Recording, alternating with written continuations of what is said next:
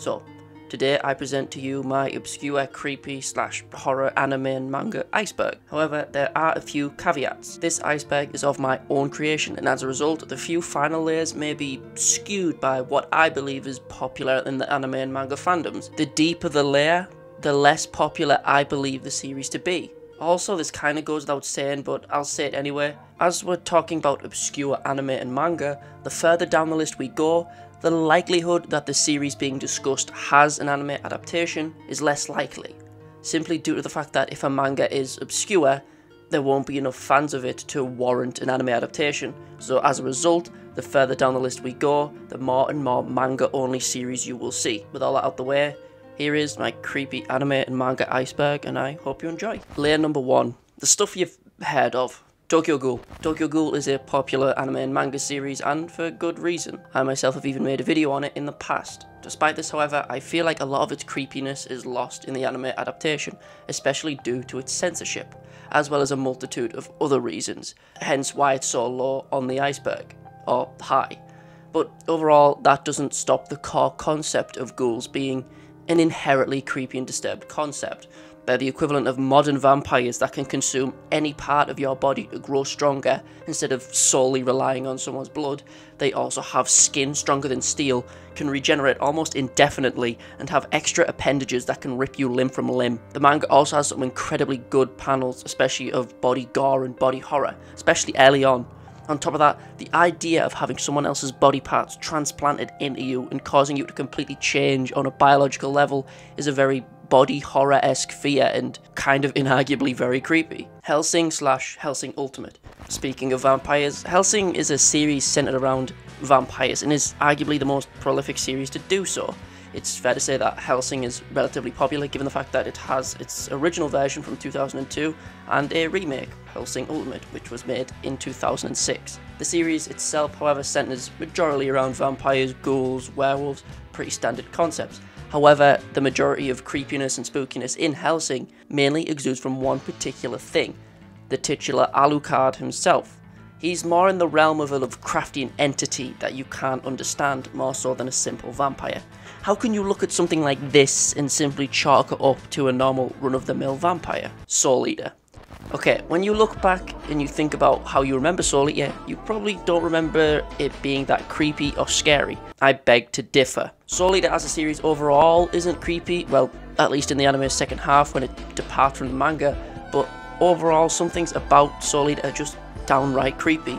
Most prolific of all, madness. Just the concept of it. We see characters have complete character shifts as they slowly grow insane. We get into characters' minds as they have hallucinations that haunt them to the point of literal madness. There are also other things that are creepy, such as Ashura becoming reborn. The concept of Ashura having his own skin being ripped off and used as his own prison is just haunting on its own.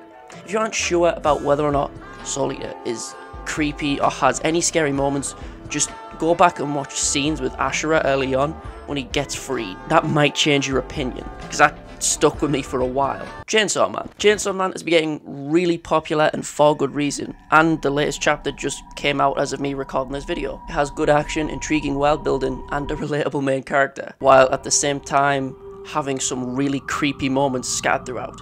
The things that come to mind off the top of the head for most people would be things like the Darkness Devil, that would just immediately come to a fan's mind if they like the series. However, things such as the Future Devil, the Halloween Devil, or just some of the designs of the devils are downright creepy and horrifying.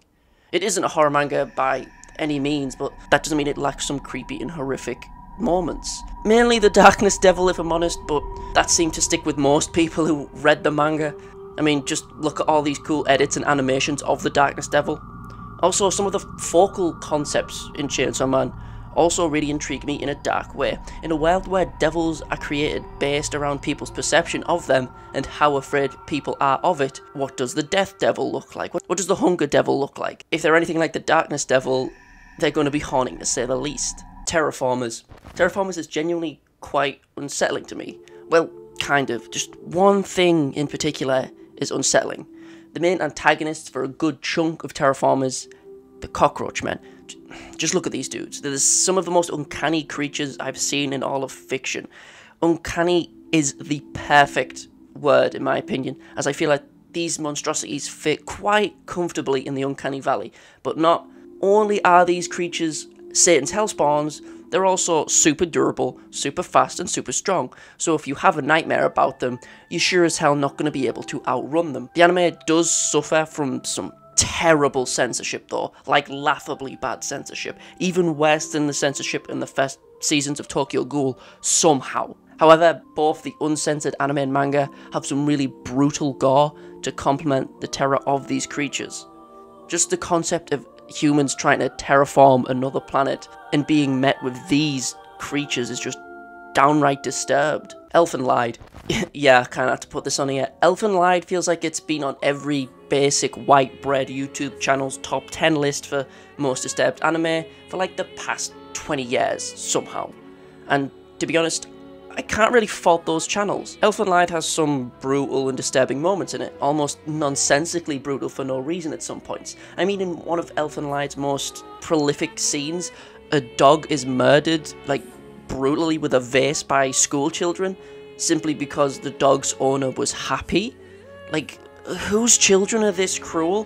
While at the same time, you also have some really good gore, such as the prison break scene or on the train, like Overall, Elfen Lied has some very brutal violence and is a show I feel that most, if not all, weebs should start with if they want to get into horror and disturbing anime and manga because it's not overly complicated and it's got good gore.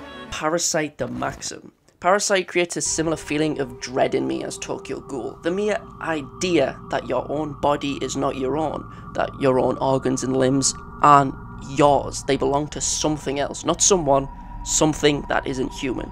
It's a very real fear, Overall, the show is very much not 100% horror most of the time. I mean, to be honest, the least horror thing about this show is its main OP. Unfortunately, the main opening fits the tone of the show like a club fits a seal. But it, I'll give it a pass because it's an absolute banger. But the show does have some well crafted and creepy moments. The show starts off as simply someone losing control of their arm to an alien. Simple enough, but then it quickly evolves into the invasion of the body snatchers or scanners where aliens are everywhere, hidden in society, lurking in the shadows. It's a concept as old as water, but it works very well in being creepy. Mirai Nikki. Okay, Future Diary is pretty light on the creepy moments, but there are a few earlier in the series. I mean, I watched this show a couple years after it released when I was like 13, 12, 13, and for some reason, this shot always stuck with me.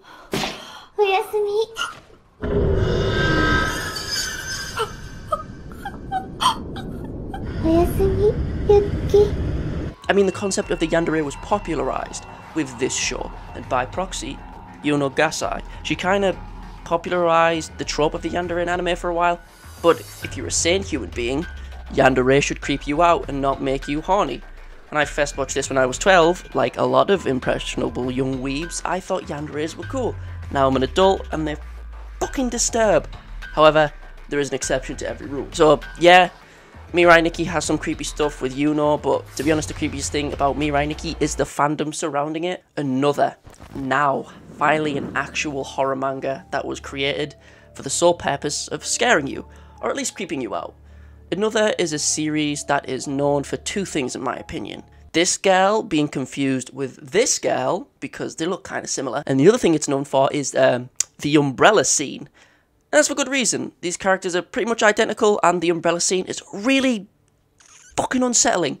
Another has plenty of scenes like that, on top of a genuinely creepy and mysterious atmosphere. Another is a great show to get you in a horror and mystery anime. It's just a great show overall. Yes, I know it started as a light novel, but I prefer the moving cartoon instead of the static book. School Days. nice boat. Okay, now that I got that out the way for the weeby boomers, let's talk about school days. This series isn't really that disturbing or creepy overall. However, the ending is such a random, disturbed curveball that I felt like I needed to mention it on this list. The show for the majority of its run is about a high school kid who's dating every girl in a 50 mile radius. At the same time, fair enough. Bit of a dick move, but overall this sounds like a pretty milk toast concept. But you could probably do something with it if there was a good writer behind it. Seems pretty boring and whatever, but once we reach the final act of the series, shit just jumps from 0 to 100 so goddamn fast. Just, okay. You've probably heard of School Days before, but all I'm going to say to you is just watch like the final two, three episodes, and you'll see what I mean. It just it's a stock whatever romance kind of, and then it just it just spins so fast in the last couple episodes. Just you've probably seen it on a Watch Mojo list or before, whatever. Berserk. There is an easy joke that I could make about how Berserk 2016 and 2017 are the scariest things ever. Just look at Funny Guts walk. but Berserk kind of means too much to me to actually like go for that joke and actually try and make that funny because it's it's not. We know how bad Berserk 2016 and 2017 are already. Berserk as a series has grown more popular than it ever has within the past couple years, hence why it's so high on this iceberg and it's just a ridiculously popular series overall. One reason for its more modern popularity is the release of Elden Ring, causing an influx of new readers of Berserk. And another reason for its popularity booming is the death of its author Kentaro Miura. Berserk as a series covers every disturbing topic you can think of. To be honest, the topics that I listed in this video's disclaimer are pretty much all covered in the Lost Children's arc alone of Berserk, which is my personal favourite arc. I'll show a couple panels now, but I can't show too much because it's just too brutal. Berserk is one of the darkest series I know of, and I'm glad that most people into anime and manga have heard of it. And if you didn't know, I've also got a tattoo from Berserk on my back because it just it means that much to me. I love Berserk. Give it a try. It's pretty good. Layer 2. The stuff you've probably heard of. Now we get to the layer where you've probably heard of these stories, but whether or not you've seen them or read them is determined by how much of a weeb you are, or how much of a horror fan you are. Nothing too hardcore yet, but there's still some disturbing stuff here nonetheless. Higurashi When They Cry, also known as Higurashi no Naku Koro ni, also known as When the Cicadas Cry, or Higurashi When the Cicadas Cry. It has a lot of different names. So let's just go by Higurashi. Higurashi is one of my personal favourite series for good reason. I've even talked about it in this video I made a long time ago. But shame-filled plug aside, all those warnings at the beginning of this video, most of them are within the Higurashi series, and you probably have a couple extra topics that I forgot to mention. There's a reason this series ends up on a lot of Weeby top 10 lists, and the best part about it is every version of the story is different. The anime is an adaptation of the visual novel, the manga is also an adaptation of the visual novel, Yet, despite that fact, they all tell a very different story, which has its positives and negatives. There's also, on top of that, a live action, but let's not talk about that, okay? What Higurashi actually is, in essence, is a mystery. In the beginning, we follow the narrative of Keiichi, a city kid who has just moved into this small little village called Hinamizawa, which um, actually exists, by the way, but the only way I can put it is an insanity happens. I genuinely don't want to say any more than this, so you can enjoy it to the fullest with as little spoilers as possible besides these out of context clips on screen. Go watch Higurashi, or play it, or read it, or play it again. Oh, what the fuck is this? Umineko when they cry, or when the seagulls cry. It, it sounds similar, right? Yeah, for good reason. You might not be able to tell immediately, but these series are very different from each other, whilst also being very similar. It's because they're created by the same person. Who would have knew? But Umineko in its own right has its own creepy and disturbing moments and atmosphere. The series itself focuses around a murder mystery in a remote mansion.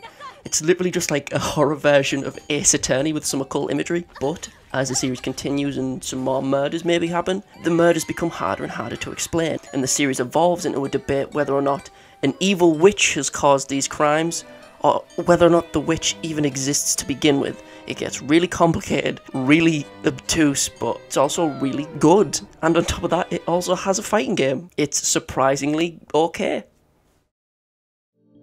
Serial Experiments Lain. Yeah, this show is weird, and it's kind of infamous for that reason. I'm going to try and word this section in a way that doesn't spoil anything, whilst also trying to give you a taste of how strange and outlandish Serial Experiments Lain is, but to be honest, the show is so weird, it's kind of hard to spoil anything, just, just given how balls to the wall it is, okay? So it's kind of like the plot of a Perfect Blue, kinda if it happened to a gamer girl in junior high instead of an idol, but like the internet gods are also like fucking with the world in like the real world, but not just like in the online. Like, okay, this show is just a trip and requires like a, a good watch. Like it, your attention has to be on the show to try and understand it, and or to even understand me. One thing I will say for sure about Serial Experiments Lain is that it feels like Perfect Blue in the sense that it feels very, very ahead of its time. Monster. On a completely unrelated note, you know how in like Spy Family, how Lloyd can just kind of wear other people's faces immaculately and just completely hide in plain sight in any scenario. He's just he's just always there at any time. Yeah, that's that's cool. Anyway, Monster is really good and interesting. Sometimes foreshadowing is relatively obvious. This series is written by Naoki Urasawa, who has another series on this iceberg, and is synonymously known by seinen enjoyers as one of the goats of seinen anime and manga, and for good reason. Monster being one of them. Despite what some shitlords on Twitter, TikTok, and just overall contrarians might tell you, Monster as a story is incredibly intriguing and delves into some quite disturbed themes, but give it a go yourself. It's rated so highly by the majority of seinen anime and manga fans for good reason, as I will do with a lot of the entries on this iceberg. If the story revolves around a mystery, I'll keep a lot of the plot to myself, just so you could enjoy the anime and manga in its full entirety with as little spoilers as possible. Blood Plus. Blood Plus starts in the Vietnam War, I, I, think, but with some added anime mystery spice added. We have these creatures which are messing up the population of this small village, as well as this lovely girl with a janky ass katana who's just slaying everyone around her. Flash five minutes forward, and we have this peaceful ass shit. Five minutes after that, shit hits the fan again. Creepy monsters and such. Overall, the show contains a lot of gore and blood, plus some intriguing plot. The show is about this gungrave looking dude who follows the perfectly normal and boring girl with nothing of note about her.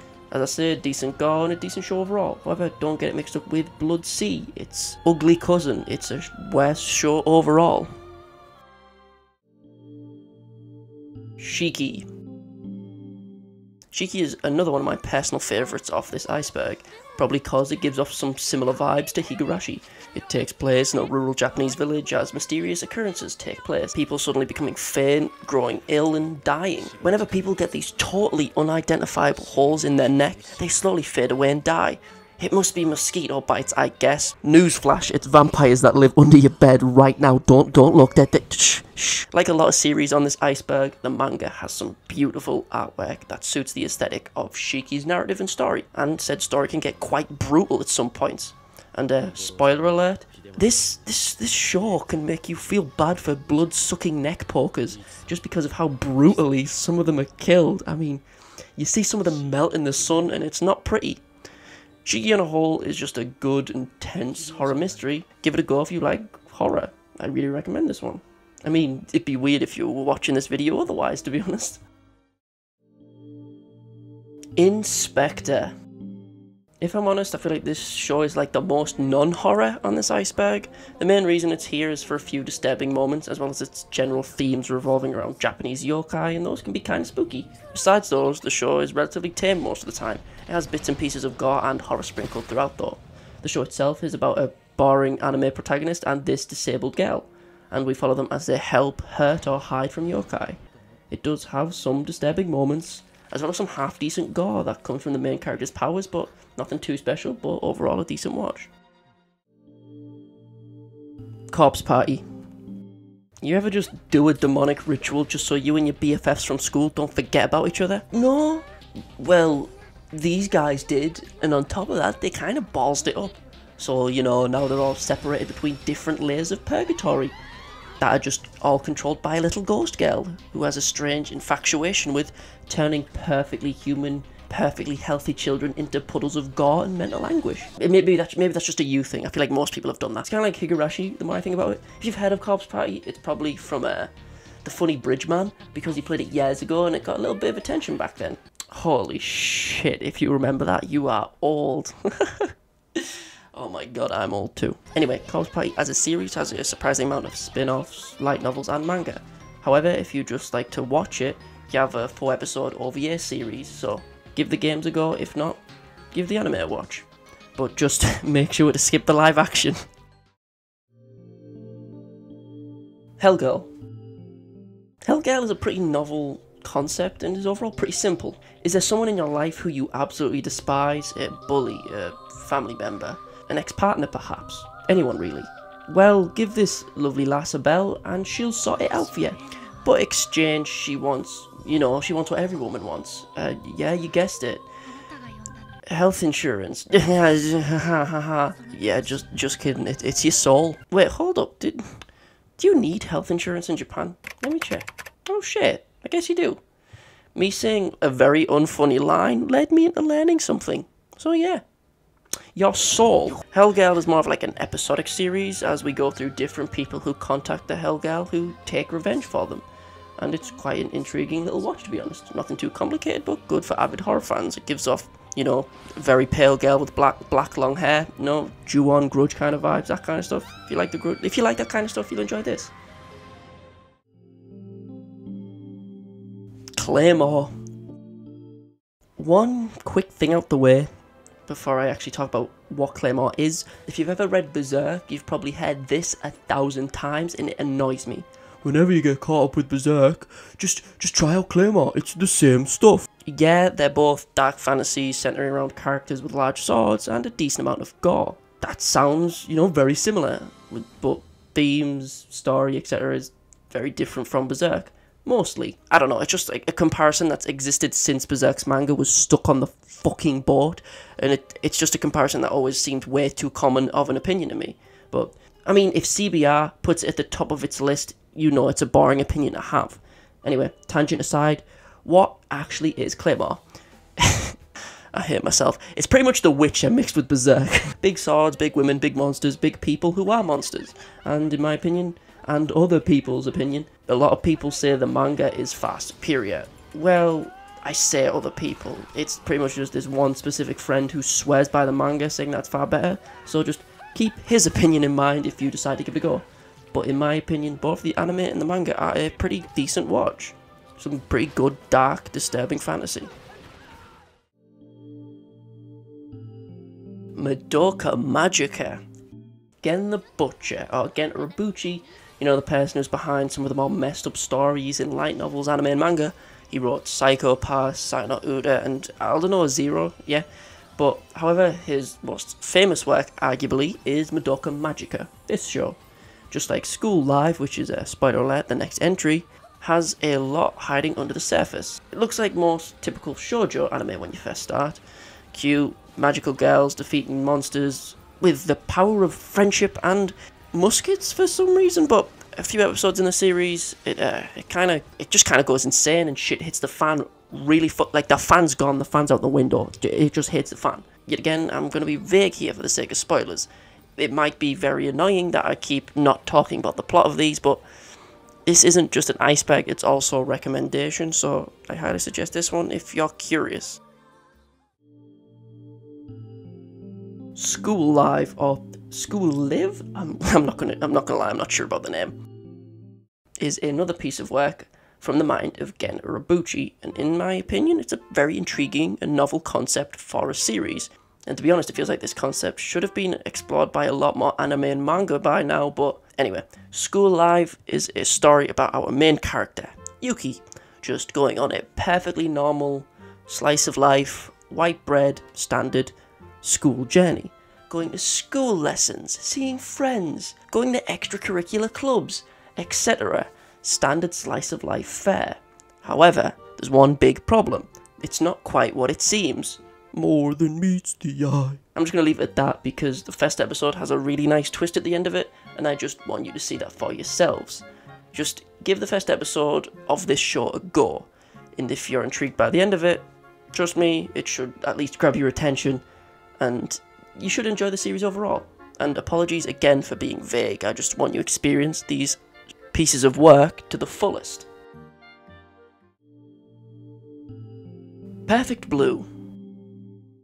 This entry and the one after are intrinsically linked as they both came from the grey matter of this beautiful bastard, Satoshi Kon. Rip the homie. A man who was known for his surrealist imagery and plots, as well as his work being very ahead of his time, and that is exemplified most prolifically, in my opinion, in one of his most popular works, the aforementioned Perfect Blue. Since Perfect Blue is a movie and not a series, it's not very long and very easy to get into. However, as it is a movie, I don't want to spoil a lot. Shocker, I know. However, I'll discuss some of the themes that the film does dive into. Despite coming out in 1997, Perfect Blue delves into some of the duality of people in modern society by looking at the difference between how people wish to be perceived, our personas, and how different our actual personalities and us overall are different from our ideal versions of ourselves. And as the modern world grows more and more focused on our personas, more so than our true selves, this piece of media grows more and more timeless and intriguing. Like highly out of all of these, this is one that I'd put close to the top of suggestions from this iceberg. You could tell that due to the fact that there's no joke here. It's it's just my honest opinion. And on top of that, the movie is incredibly disturbed and just horrifying in so many moments. So trust me, if you like horror, if you want to be disturbed and freak the fuck out, Perfect Blue is a great choice. Paranoia Agent. I put both this and Perfect Blue on the list as they're my favourite two pieces of work from Satoshi Kon. Yes, all his other work is really good, like Paprika and Tokyo Godfathers, but out of his work, I find Perfect Blue and Paranoia Agent to be the most disturbing, timeless, and overall fascinating. And on top of that, I didn't want to put every single one of his works on the iceberg, so I, I only chose a couple. Paranoia Agent is like Hell Girl in that the fact that it's a very episodic series. We focus on different people as they all get assaulted by this mysterious attacker known only as Little Slugger, and we follow the victims before, during, and after their attacks, seeing how their lives have changed due to their assault. But as I said earlier, it's a Satoshi Kon piece, so it's not that simple. Yet again, with a lot of other picks on the list, I'll be talking very little about the plot, so that you will actually watch it and avoid as many spoilers as possible. Yet again, just if it's Satoshi Kon, it's worth the watch, in my opinion. That's just a good rule of thumb to have. Layer 3. I'm not sure if you've heard of these. We've now arrived halfway down the iceberg. We've reached the point where the likelihood you have read or watched all of the series here is starting to get lower and lower. And whilst I feel a lot of people may have heard of these series, there are quite a few here that everyone has heard of if they're into disturbing anime manga, but not all horror or disturbing anime manga fans have watched or read them. We'll start off with something somewhat popular among the manga horror community. Junji Ito slash Uzumaki slash Tomie, etc. I've put all of Ito's work in one section on this list as the man has made way too many horror manga masterpieces for me to count on this list. I know any horror fan worth their salt may be hearing about the placement on this list and snorting at the fact that Junji Ito and his works are at the third layer of this list and not higher because they may feel he's a lot more well known. That's true, but personally I feel whilst a lot of his works like Uzumaki, Gyo, Tomie, you know, stuff like that, his more popular works, whilst they are obviously bangers, a lot of Ito's just as horrifying works goes fairly underappreciated. Most notably for me would be stories like Amigara Fault, which is my personal favourite, Hellstar Remina, The Long Dream, The Hanging Blimps. Junji Ito has more to his repertoire than people recognise. He has plenty of stories just as, if not more spooky, than Uzumaki, and will eventually get the Adult Swim animation of Uzumaki at some point in the future, which looks cool. But, just with, like with a lot of places on this list, don't check out the live action, and on top of that, it goes without saying that this collection is absolute dog shit. Mieruko-chan. Miracle-chan as a series came out relatively recently when compared to a lot of the other entries on this list, only coming out in around 2021. And on top of that, the core concept of this story is an age-old tale. One person can see ghosts, and no one else can. It's pretty much the same as The Sixth Sense, but give the main character much, much, much creepier ghosts to look at instead of Bruce Willis's glorious visage. And by the way, spoiler alert, yeah, Bruce Willis is a ghost in The Sixth Sense. If you haven't seen it by now, you weren't to watch it to begin with, let's be real. In regards to Mieruko-chan, I feel like it was kind of slept on. Only a little bit given the fact that it's a horror title, but all I have to show you to entice you about the show is its artwork, both in the anime and in the manga. It's being translated and portrayed in the anime really well, so feel free to check out one or the other you won't be missing out much by picking one format and not the other, which is quite rare for anime adaptations. Overall, it's a title with some very spooky ghosts and spirits, and it's pretty cool. And I love the fact that her name is derived from Miru, or Mieru, which means to be seen in Japanese, which is ironic considering the fact that she gets asked that question a lot in this series. Kemono Jihen. Before I started watching this show, I saw a lot of the promotional art and it gave off a very My Hero Academia vibe from the posters, so I ignored it for a while. Then I saw some clips on YouTube and then I got kind of intrigued and I decided to pick it up because I saw some yokai and stuff. Despite the appearance of this show on the surface being kind of whatever, this show gets surprisingly dark. Like, what the fuck? All that just for some spider silk? God damn. The plot mainly centers around this wacky cast of kids who are actually creatures mainly from Japanese folklore. Kemono, basically just meaning like beastly or like animal yokai. This kid's immortal and feels no pain and goes Super Saiyan God for some reason as well. Kind of cool. Uh, this kid is pretty much just Spider Man and can sling webs, and this kid is just Elsa oh no, no, no, no, no, no, wait, wait. And their teacher is just Tom Nook, which is pretty cool. They go on adventures and they find furry bait as well as big ass mosquitoes and shit. Overall, it doesn't seem quite dark given how I've described it. You'd be surprised. Just some of the major plot points of this show are surprisingly depressing and dark. All of the main three cast have some sort of traumatic backstory, which is either just really depressing or just has a large case of what the actual fuck. Misu Misou. I've talked about this one in the past. When you look at Misu Misou, something may look familiar, and I thought the same thing, so let me explain something. Shameless plug aside, I've made a few videos on this channel about fighting games as I'm a big fan of them, and the FGC on a whole. But what does that have to do with this creepy looking manga, you ask? Well, the reason this manga may look familiar is that the same author created this. High Score Girl. Remember that cutesy anime that got put on Netflix a while back? It's about fighting games and it's by the same dude. But all I can say is, don't expect anywhere near the amount of wholesomeness from this. Misu Misou was so creepy, in fact, it got a live action, which is slowly becoming a benchmark for good shows and manga to be ruined on this iceberg. Anyway, Misu Misou is the story of this girl who is pretty casually just trying to get through school whilst being bullied by a group of kids from her class. Pretty standard concept from anime and manga as a whole. However, it all changed for this little lady once these said bullies set fire to her house, assuming she was inside. She wasn't, but both her parents and her little sister were though. So you know, they may not have gotten the target, but at least they got a solid triple kill. Oh, no, best make that a double kill because her sister is now in intensive care and could die at any moment. And to be honest, like, the image of the sister you see just reminds me of Gon in the hospital bed, like, post-adult form. Like, god damn. This then causes Haruka, the main character, to then go full Batman mode and avenge her dead parents and injured sister. But in more of a Flashpoint Batman way, not like the pussy main timeline Batman. The story basically then revolves around Haruka slowly picking off all of her bullies one by one in the most brutal ways possible. It's pretty dope and the artwork is just really uncanny and creepy. Check it out. Fire Punch. I mentioned the fact that this story would be on this iceberg during the first layer when discussing Chainsaw Man a little bit. Yes, this is from the same author, but instead of the most disturbing things in the story being Makima or the Darkness Devil, the scariest thing in Fire Punch is, well, everyone. Ooh, deep. I mean, cults are pretty scary too. And the fact that it literally starts with casual cannibalism on like the fourth page of the first chapter is kind of out of nowhere. Well, I say that, but in the same first chapter we get a nice sharing of uh, incest too, with a nice little sprinkle of uh, genocidal war crimes, which is just um like it's like it's like a lot. It's like a lot at what it's it's a lot. I won't lie. The first chapter it, it throws a lot at you at once, and it comes on really strong. But I kind of love it for it. We continue the series, and we'll get delves into yes, identity, religion, revenge, and the most bad things about the world, and some of the good.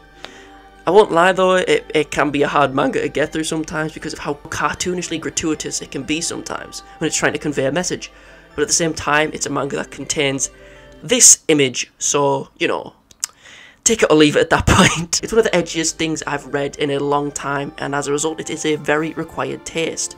But if you like it, you'll end up loving it. And just like Chainsaw Man, it has one of the most relatable panels in the entire world. Oh Yasumi Pun Pun. In the last like two or three years, I feel like the popularity of this manga has grown substantially, like to an insane degree, and, and that's a good thing. That's great. More people can suffer as I have. In essence, all Oyasumi Pun Pun is, is a coming of age story. The tale of our little friend Pun Pun here, despite how simple this lovely little bedfellow looks on first glance.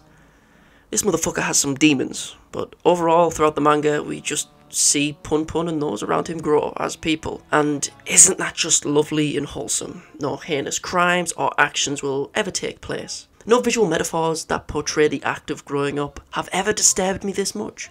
It's, it's great. If you read Pun Pun, you'll remember it. You will follow Pun Pun through his entire life, share his pains, his victories, and when he's sad as hell, as well as when Satan enters the building. Be right back. Gotta go to hell now. If you think it's weird that a cartoon bird is the main character, surrounded by normal-ish looking characters, and that god of this universe is just a random Japanese man, well, you just have to kind of read it to get it. Angels of Death. That is an edgy name. All I've got to say about this one is that it takes me back to my youth in a very strange way, and I can tell with just that sentence I need a little bit of explanation here.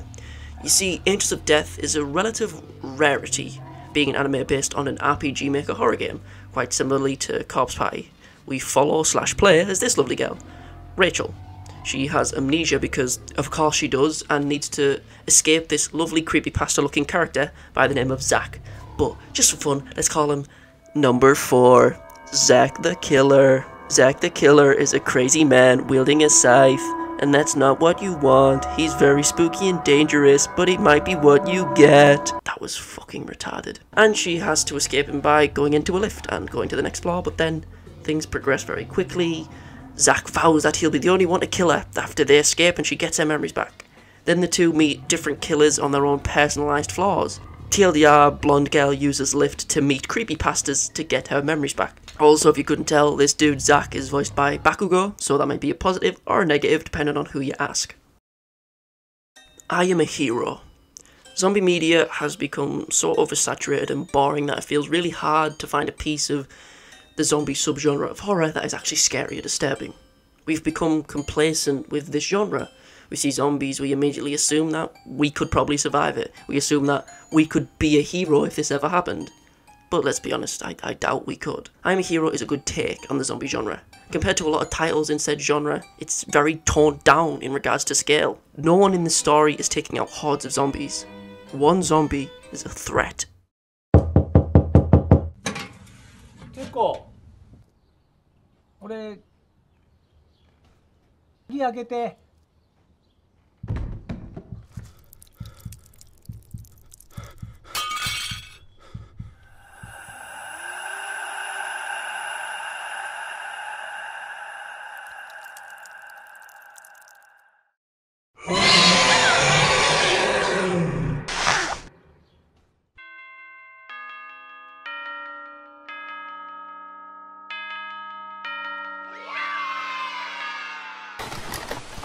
It's also one of the few live actions that isn't complete dog shit.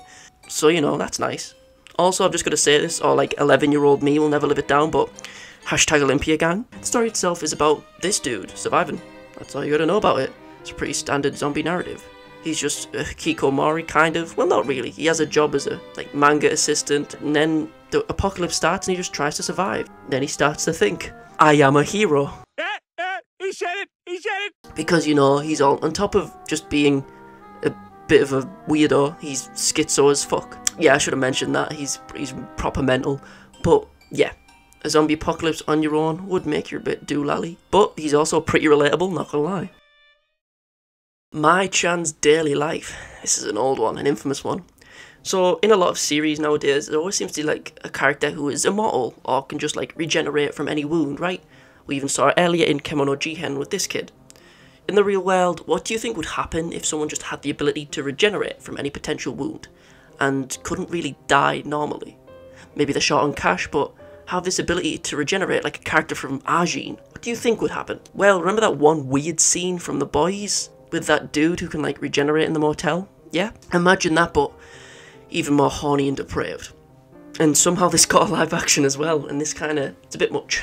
Basically, the story revolves around Mai Chan here, who has the quirk of regeneration, and she acts as a maid for depraved people, getting cut apart and other much more unscrupulous things. It's it's pretty much just Goru, or not Garo, not Goro, Guro, which is some of the most depraved stuff in the world, but hey, it exists, so it's on the list.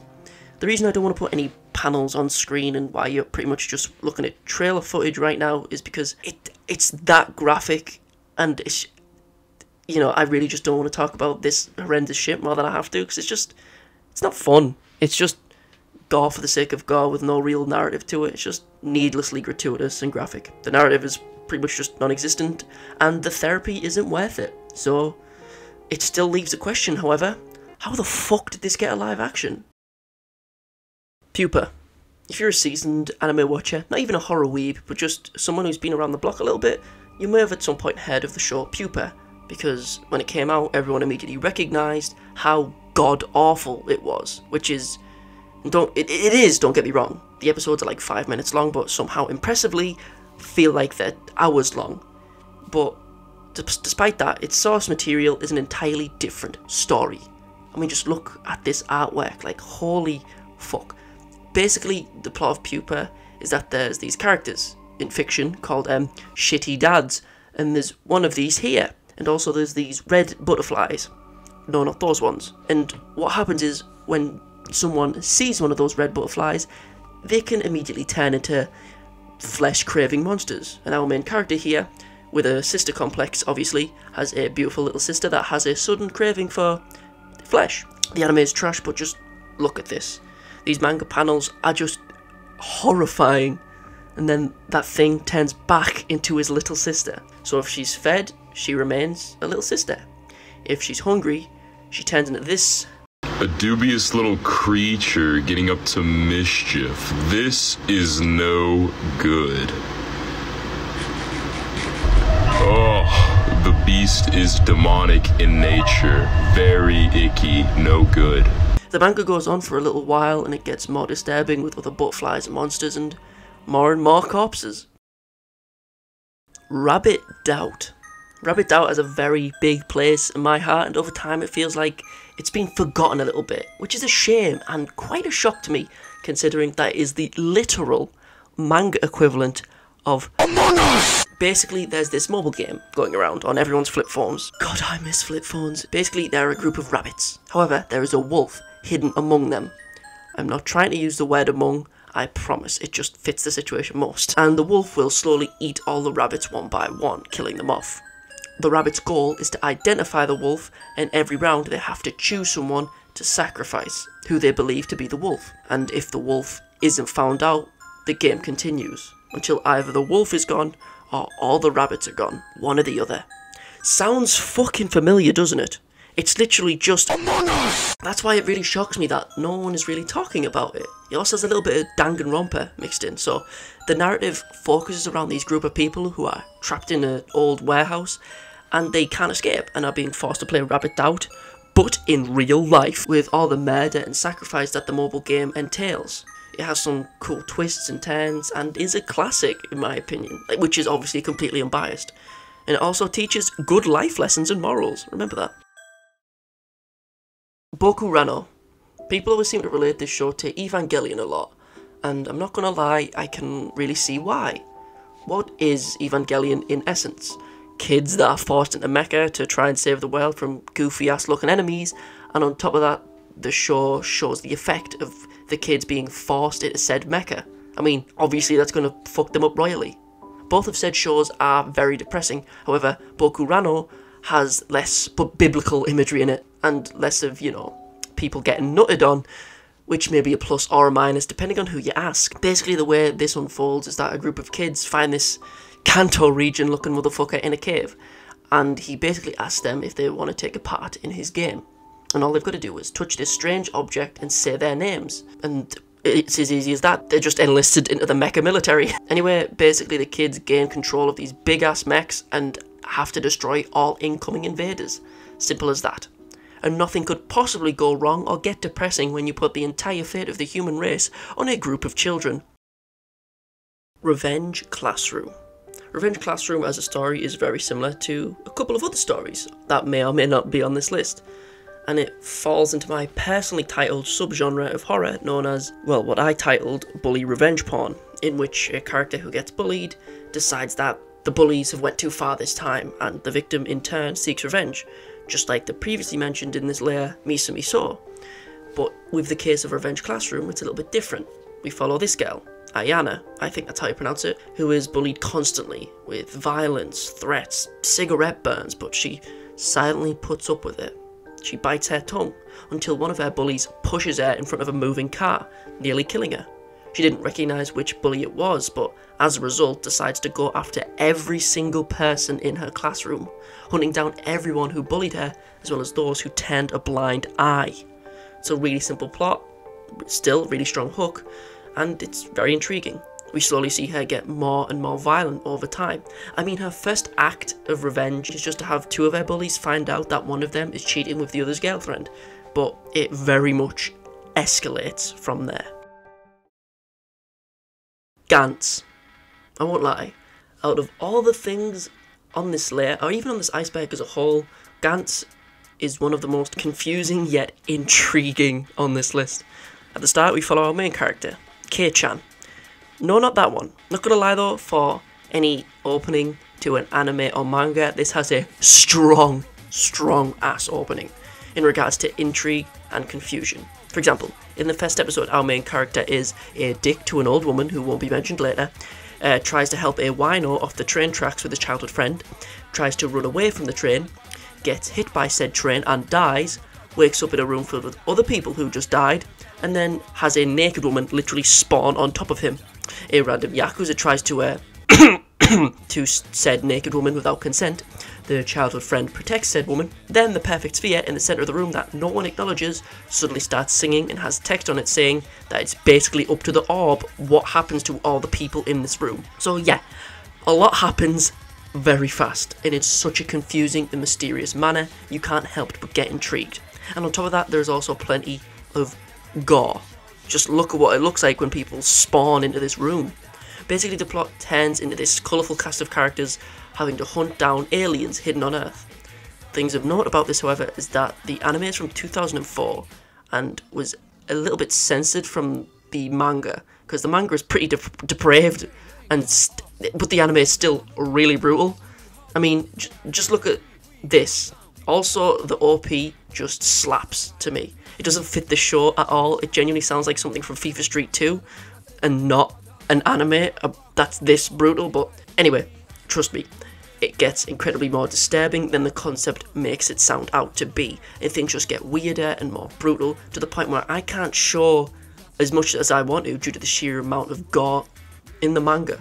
And on top of that, the manga is pretty long, coming close to like nearly 400 chapters, which is longer than Bleach. so, you know, if you like it, there's plenty to go into. There's also a weird PS2 game of it. That's pretty neat. Layer 4. I hope you haven't heard of these. Also, as I mentioned in the first layer, there won't really be any more or too many anime beyond this point. Majorly manga left because some of these series aren't very well known enough for a series or just cannot be animated for some reason. I mean, think about it. If a series isn't popular enough, there isn't going to be a reason to animate it. Like, who would watch it? Manga from this point on, pretty much. Anyway, let's dive back into the iceberg. Franken Fran. Franken Fran as a series has some of my favourite and most disturbing body horror I've ever seen in any manga series. The main core concept is relatively simple and is about this lovely girl, aptly enough named Fran. Side note, I feel like anime and manga, just as a medium, has this strangely niche yet common appreciation for Mary Shelley's Frankenstein, which is uh, pretty cool. Anyway, this girl is a doctor, and the entirety of the series as a whole revolves around this girl pretty much acting in a very similar way to Black Jack from the series of the same name, in which the doctor will seemingly save someone's life against all impossible odds. However, Franken Fran is a twisted version of this. It's kind of an episodic series that has Fran creating a new abomination each chapter. For example, let me paint you a picture of one of the first scenarios from Franken Fran just to give you a taste. The chapter starts off with a schoolgirl being hit by a truck and almost dying on impact. However, her friend nearby begs for help for anyone who can possibly save her, and Fran decides to step up. Since it was kind of her fault in the first place, she then rebuilds the girl's body, but in the form of something akin to a caterpillar with the girl's head on top. Then Fran reveals that she's pretty much just put her body in a form of chrysalis so that she can just kind of grow herself a new body. I mean, she's not that cruel. She wouldn't just experiment on this poor girl. What kind of person do you think she is? The chrysalis is A huge success. The girl's body is regrown. She then falls in love with the person who called for help, and the town it it, it, it, it has a happy ending. The two then go to a love hotel, and as they get to do the dirty deed, she goes full praying mantis and eats him. Dope. This is far from the most disturbed story in my opinion. A lot of them I can't even show on YouTube, but I feel like this is the most recognizable because I remember seeing this image a lot back in like the early 2010s as just like a meme image, but it's still really disturbed. She gives people's eyes that make them see Lovecraftian creatures beyond our imagination, turns people into human dogs, which look that genuinely truly horrify me. A living severed head and just a hell of a lot more. If you're into body horror, trust me, this is a great read. Ibitsu.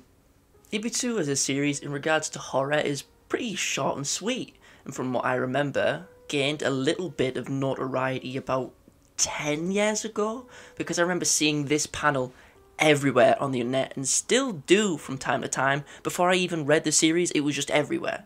Ibitsu itself is a lovely gothic Lolita who just appears in random dark alleys asking if you need a little sister. What? You've already got one? Th- nah, it's cool. This girl is the perfect replacement.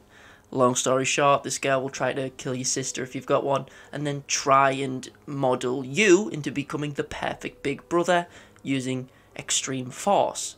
It has some pretty good gore, as well as two other short side stories in it that are genuinely unsettling that have nothing to do with the main story. Like this one about creepy ass mannequins, as well as this chubby lass who pretends to be a manga editor, so her favourite mangakas will draw her OC for her, which is really disturbed but really interesting. The story itself of, you know, the Gothic Lolita Ibitsu is a simple but effective one. It doesn't overstay its welcome, being literally like uh, 14 chapters in all, two of which are the previously mentioned side stories, in which we get a backstory for the Lolita girl, as well as a couple brutal kills and investigation, culminating in a couple nice twists that I liked a lot, such as the true nature of a cute plush rabbit, as well as her backstory on a whole as it is only like a 30 minute to an hour read. I'll keep the rest to myself. Give it a shot. And also, the artwork is really cool and just how contorted and stylized it is. I, I guess the best way to describe how they portray her movement on panel is fluid. On like her body, it moves like a liquid. It's constantly changing, and it just it gets more and more imposing with each panel, and it's it's just cool. I wish I could have this video properly monetized. Bastard. Bastard, the Korean one, not this one, is a series about how this man is irresistible to women somehow. Anyway, we see Bastard's story through this man's son, Jin. No, not that Jin. No, not that Jin either. Jesus Christ, how many anime and manga characters are called Jin? Wow. So Jin's dad here is a serial killer, and Jin helps his dad with murders out of the fear that if he doesn't help his father, he will in turn murder him too. In my opinion, it's a pretty solid hook and concept for a series right off the bat, but as the series, well, I say a series, this is the only manhwa or webtoon, whatever you call it, on the list. Spoiler alert, no killing, stalking, boo hoo. Because I haven't really delved too much into Korean manga and comics, but out of the couple I have read, Bastard always stuck with me as having some pretty disturbed and brutal moments. And as I said, it's one hell of a concept. As the story develops, we are introduced to Jin's bully, Manny, no, not that one, as well as his love interest, Kyun Thing is, though, Jin's dad has a very specific taste in women. Now, I wonder what would happen if Pops over here decided he wouldn't mind getting a slice or two on his new girlfriend. On top of that, Jin himself was also thrown off a building when he was younger, and as a result developed a heart condition, as well as having a glass eye. So there's a lot of mysteries and plot for there to develop over about 90 chapters or so, and Jin can't seem to catch a break throughout most of it. And on top of that, during a lot of scenes, the artwork is pretty static and can seem quite middle of the road and like, a lot of the time, to be honest. But for some reason, whenever Jin's dad is in panel, acting all full psycho, I, I don't know. Something about the artwork just seems really uncannily creepy to me and unsettles me in the perfect way. It's a very intriguing read. If you want to give any webtoon a shot or any manhwa, I'd give this a shot. The Drifting Classroom. People like to say that Junji Ito is the godfather of horror manga, but whilst he is undoubtedly one of the greats as far as manga is concerned, or even beyond that, he was far from the first. Meet Kazuo Umezu. I've, I've butchered that, but so does every native English speaker. And one of, if not his most popular works, is The Drifting Classroom. The plot itself kicks off relatively quickly as we see this little brat buy his mum a new watch. The watch is immediately ran over by a car, he has an argument with his mum over some marbles, and then proceeds to go straight to school in a huff, passing one of his friends on the way. Then suddenly, the sign for the school falls to the ground. The ground shakes.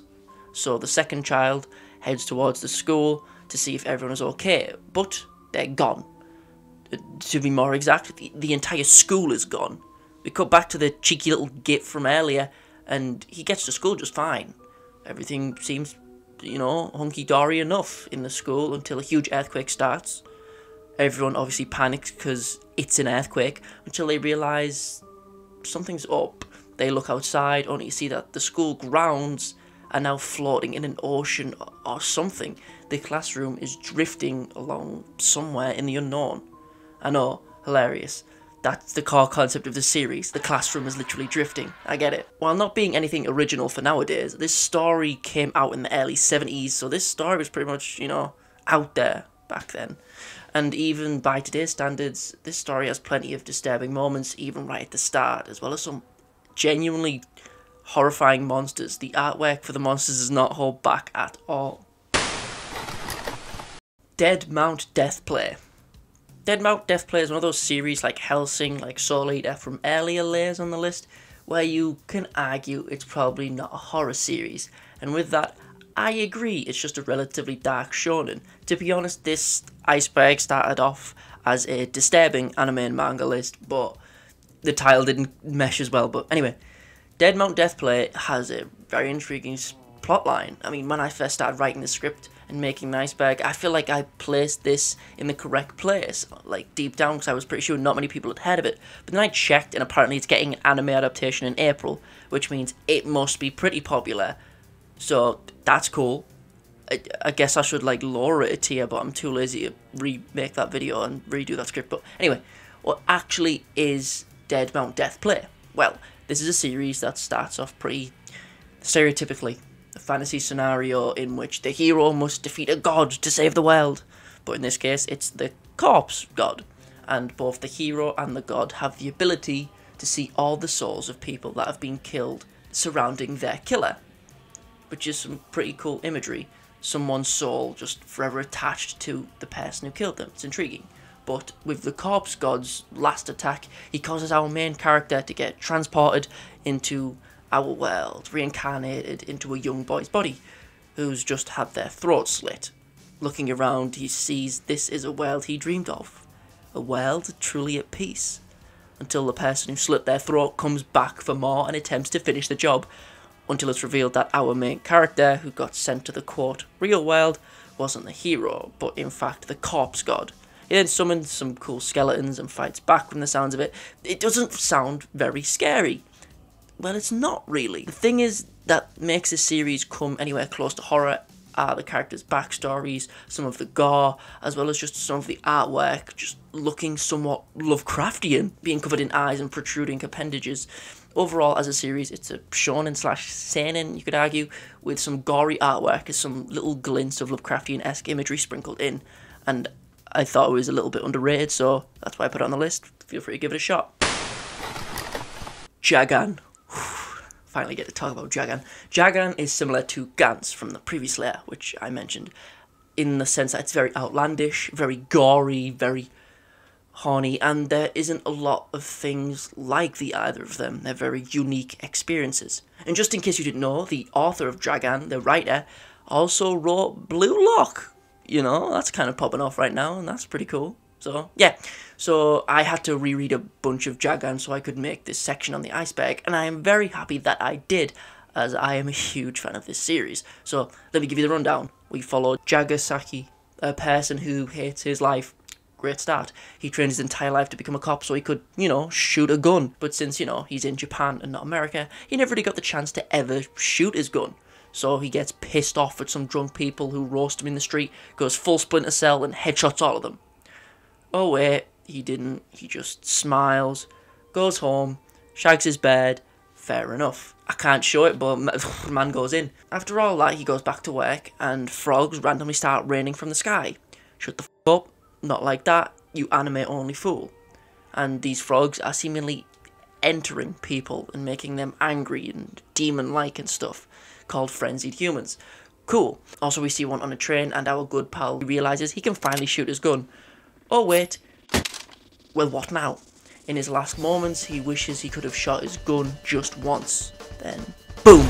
He grows this finger gun. Then an owl shows up and explains that the frenzied humans, uh, like he, uh, girlfriend gets infected, and he puts her head in the fridge. And the owl says he has to defeat all the baddies on his journey. We meet other fraction humans like Jagaki, that's why he's a fraction human. People who don't give in to the evil frogs, like this dude, who is r slash incel personified because he gains the power of non-consent. This dude with a cool mask. This dude who is a tree. And this person who's an octopus. I'm probably just making this sound really, really confusing because a lot happens, it goes all over the place, but in a good way. It is a cool series that displays some beautiful artwork, especially early on. Has very depressing and deeper themes of what it means to be alive, of what it means to be a person, and just, you know, it's just very dark and de- depraved at times, especially when concerning this creepy fella. Give it a go if you like Gantz. Give it a go if you don't. It has my seal of approval. Just feel free. Suicide Island. Suicide Island is a very cool concept for a series, but yet again, not 100% original. But just to explain it more cohesively, I'll just go through the first couple of pages because I feel that they demonstrate the core idea of this series very succinctly. The first chapter starts us off in the emergency room. We see doctors discussing whether or not to save a patient's life. Turns out the patient they're discussing has had several attempts on their own life in the past, but it's their duties and, you know, oath as doctors to save lives. But this person doesn't want to live. The patient then gives their consent and asks to die, his life flashing before his eyes, saying goodbye, just fading away. Until he wakes up, he sees a vast sea in the distance, freedom. But then he hears a voice and he sees a girl. How? She looks familiar. He then jolts awake, realizing that he isn't dead, seeing only mountainous terrain and forest in the distance. What is this place? Others begin to wake up, more and more people waking up, confused, including the girl from earlier with a bandage on her wrist. Everyone who woke up begins to gather around a notice board in the distance. The notice board itself states their rights as human beings are gone. They're dead on their home country and as a result have been placed here on this island, meaning that they have no reason to protect them or have them follow any laws. People who woke up begin to theorize that this is because the cost of saving people's lives who attempt suicide is costing the Japanese government more and more money and as a result created this place, Suicide Island. If that initial hook doesn't get you somewhat intrigued by the mystery of the island, skip it. But this manga does go over some very dark topics. I mean, the it's called Suicide Island, so expect some mature themes. Also, just in case you didn't know, the author of this manga also made Holy Land, which isn't related at all, but it's a really good street fighting manga. Give it a go as well if you've got the time. It's pretty cool if you're into martial arts manga like Baki and Ippo, that kind of stuff. Anyway, Suicide Island, good read. Next one. Kurosagi Corpse Delivery Service. That is a long title, and this is a very adult series. And just to show you how adult, I'll show you the first panel of the manga. Just kidding, I can't, because it starts in the Japanese suicide forest, and we know what that's like on YouTube, because, you know, the narrative itself centers around this group of university students who volunteer to help with corpses. Whether that be this monk dude who hears the spirit's last wishes so they can pass on, and he can also, for some reason, summon this lovely lady. Uh, we have this person who's an embalmer, we have a hacker, because, yeah, and of course, we have this person with an alien puppet because why not? Basically, the narrative surrounds this colourful cast of characters as they are called to dead bodies so they can help them pass on. Clean up the corpse, solve their unfinished business, stuff like that. It has some pretty cool gore, and it feels a little episodic a lot of the time, similarly to Franken Fran from earlier, as we are introduced to new corpses that have new stories to tell, all the while learning more about our cast along the way. Very intriguing, and I suggest giving it a go, but it is over a hundred chapters, so if you like it, there's a good chunk of it. Also, it's very educational in very strange ways. Homunculus. Initially, when I first wrote this segment for Homunculus, I started writing more and more and more and more till it became more than just a couple hundred words long. And that was me just discussing the first chapter. So, just in case I want to discuss Homunculus in the future, I'll give you the Cliff Notes version of the first chapter, whilst giving you a brief rundown of other notable things about Homunculus. The series starts off with this lovely chap catching some sleep in his car until we get a panel of a fetus. It will make sense if you read it, kind of, but I'm not going to explain the fetus now just to confuse you. This man is homeless, technically, living out of his car. His car is his life. It's what separates him from being truly homeless and lesser, like the rest of them in the park he comes next to. He talks and is friends with the other homeless people and mostly keeps to himself. However, the homeless people around him recognize that he is a pathological liar, telling each different person a different version of his past. Maybe he worked with cars, or was he a teacher? All the while, someone in the background is spying on him. The person spying on him approaches. They approach with an offer 700,000 yen in exchange for being used in a trepanation experiment. 7,000 yen, how much is that? Let me Google that real quick. Seven like four grand, four or five grand. That bro, five grand for a fucking drill in my head? Are you four and a half grand for someone to drill in my head? Hell no. Anyway, for those who don't know, which I unfortunately did for some reason, trepanation is the act of making a small hole in the skull, not damaging the brain. This was used in the dark ages to cure madness, hysteria, stuff like that but nowadays it's just kind of used to relieve pressure on the brain when the brain's swollen, stuff like that. The surgery in this context would be done to see if we could unlock this fellow's sixth sense, but that's madness. He's not he's not going to get talked into it, so you know the manga ends here. So he gets the surgery after his car is taken from him, and he needs money to get it back. And as a result of the surgery, he begins to slowly see things he changes over time. He, he sees homunculi instead of people. When he focuses on the left side of his body, I've glossed over a lot here and trimmed out a lot of stuff just to keep a relative air of mystery and to keep the section somewhat short. But keep in mind, this series is very, uh, as adult as it can get. It's brutally gory, not as brutal as other things, and just an overall mature series, not just in its visuals, tone, themes, and the stuff it shows, but also in just I don't know. I feel like to really understand it, you have to be a bit older, I guess. Maybe that's naive of me to say. This isn't some goofy stuff like Soul Eater in the first layer. It's got a lot of fluids and a lot of spooky imagery, so whatever. Also, on another note, I feel like this series has become more popular in recent years as it seems to be trending on social media and stuff, which is cool to see give it a shot. It's a, it's a deep read, and some parts of it will disturb you, while others might hit close to home. And Jesus Christ, that ending, what the actual. F- it just left me speechless, depressed, and overall upset. Like, Jesus, well, on a brighter note, this this series is where this image comes from. So that's a plus, I guess this part's not scripted. I'm just going to say this real quick. For this section, I reread the entirety of Homunculus. I didn't mean to. I was just going to read like the first couple chapters to get like my memories flooding back, but I couldn't remember it. So I read all of it in one night, and oh my god, well, I reread it all in one night, and holy Jesus Christ, that was oh my, I don't know how to describe it. It's a, it's a, it's a read and it's an experience. Give it a go. Give it a shot. 20th Century Boys. Again, just like Homunculus, this is like another series that has been getting even more popular in recent times due to it becoming popular on social media, which is nice. And on top of that, it was also created by Naoki Urasawa, the dude who made Monster, which was in a previous layer. Anyway, what is 20th Century Boys? If I were to describe it in a single word, confusing. uh, I mean, when people are still arguing about the ending of a series 20 years after it started, you know, you got something a little different on your hands here. To say the least, and, you know, it's going to be even weirder when it was inspired by the Aum Shinrikyo of all things. Now, what does the main plot center around?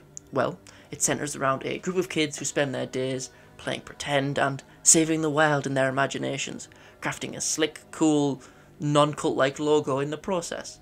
However, when the crew grew older and move on with their lives, the symbol just keeps appearing, most notably in a letter left by one of the group after they commit suicide. We keep seeing a figure surrounded by this symbol going by the name of Friend, acting as a leader of a cult and claiming that the world is going to end. All throughout this, there's aliens, monsters, music. It, it, it's, it's kind of hard to put this series simply, and it's something you just kind of gotta experience yourself because of how just all over the place it is. Yet again, in a good way. There's a reason that this is touted as one of the greatest seinen out there. It's disturbed, it's strange, it's mysterious, and it is one hell of a ride. Pumpkin Night. Pumpkin Night is a series I have covered extensively to say the least on this channel. I've even made a full video about it. Check it out if you're curious, but to shorten it a little bit, in essence, Pumpkin Night is very similar to Misu Misou or Revenge Classroom that I mentioned in the previous layers. It's a series about a young person who gets bullied extensively in school and gets revenge. However, in the case of Pumpkin Night, stuff gets brutal. We see how the bullies scarred her face with a combination of fireworks and acid. We see Naoko here cut them apart one by one. We, as the viewer, initially follow Naoko's crush, Kazuya, who acted as a bystander during her bullying and didn't attempt to help her, and as a result feels regret about remaining idle in her time of need. After Naoko is permanently scarred by her bullies, she gets sent to an insane asylum by Donald Trump. Cool. But then she breaks out and goes on a full killing spree, getting revenge on her bullies in some of the most cleverly gory scenes I've seen in a while. If you want more info on the series, check out my own video on it, but if you don't want to do that, which is fair enough, if you like, as I, the self-titled genre of bully revenge porn, you'll love it. Gore so brutal, I can't even show it, you'll love it. And you like a good old bit of trumpage in your anime, this is perfect for you. Side note, why is Trump in so many anime and manga? It is so confusing. Layer 5. Don't tell me how you've heard of these. Dead Tube. Sure, let's start with Dead Tube. Why not? The series came out back in like 2015, but it gets more and more real with each day. Anyway, what is Dead Tube? Thankfully, it opens with that exact question and gives us a kind of brief overview. You basically make videos, if a lot of people watch them, you get paid. Sounds nice. some people try comedy and emotional stuff, but our apparent heroine of this story here, like some good old fashioned ultra violence. We get a little bit of a monologue complaining about the fantasy of film and how it lacks reality, until we then follow our hero, or whatever he is, this kid. Not the person who was labelled the heroine two seconds ago, fair enough. Basically, our heroine asks this film club nerd to record her swimming and filming her outside of the pool. For some reason, we don't know why. But then it continues to the pool again. We get an epic piss recording scene. Why did I read these? What Jesus Christ. We go back to her flat, get a full recording of her getting unchanged and showering, because of course we do. The two then eat and then go to sleep. Film nerd thinks about being a nonce and then decides not to. Yippee, I guess. Then the next day, our heroine introduces the film nerd to his old bully. Okay, this is more intriguing, I guess. They're going out. God fucking damn it. The two decide to have a bonding moment inside an old abandoned factory, which isn't suspicious at all. And of course, uh, this March comes on like a lion looking motherfucker here, has to film it all, and feels the same way I do about the past 30 pages so far, until boom, she starts beating him to death with a metal pipe, and to the point where the art turns from gore to something I don't even recognize. Like, here is the before and after. Like, what even is. I don't even know. Then she finishes the bully off in the murder way, not the other way, and of course, our nice film bro gets a nice rod on as a result of watching a murder take place. She swipes his first kiss, and you pretty much get the gist of the narrative by now. However, as I said earlier, they get paid for this, and the camera guy here got 5 million yen. How much is that in, like, in actual money? 30 grand? Fair enough, sure. Basically, this series is just these two committing borderline guru, filming it, and then getting lots of money and sexual tension in between. The series gets very depraved and very much on the thinnest edge of becoming a doujin, like ever so close. And then to compensate for that, the series will add a bunch of mature topics and themes to contradict it. In all honesty, I was making jokes throughout this, but this series is like one of the biggest what the like. It's just confusing and all over the place.